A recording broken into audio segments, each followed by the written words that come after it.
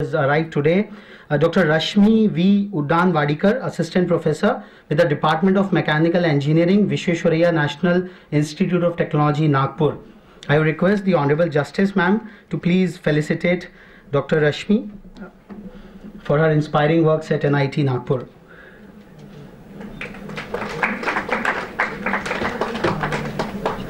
Extremely thankful, ma'am. Uh, I think a very quick, just uh, because ma'am has to Rather, I was the last one because I wanted to get the prize from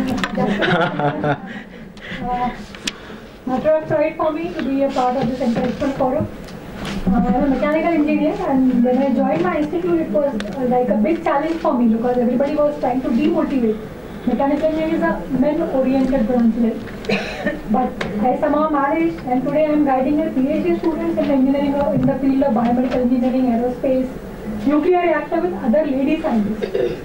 So, quick chance to my husband, my mother-in-law, my parents, my daughter. Thank you. I would now like to